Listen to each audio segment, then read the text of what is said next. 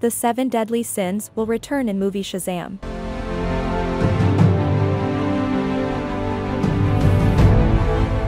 In the first Shazam movie, the seven deadly sins were portrayed as demonic creatures that were contained within the body of the main villain, Dr. Thaddeus Sivana. Each of the seven deadly sins represented a different negative characteristic, including pride, envy, wrath, sloth, gluttony, lust, and greed. The seven deadly sins could return in a future Shazam movie, potentially as part of another villain's plan or as a standalone threat. It is possible that the sins could be unleashed from their containment and wreak havoc on the world, or that they could be used as a tool to manipulate Shazam and his allies.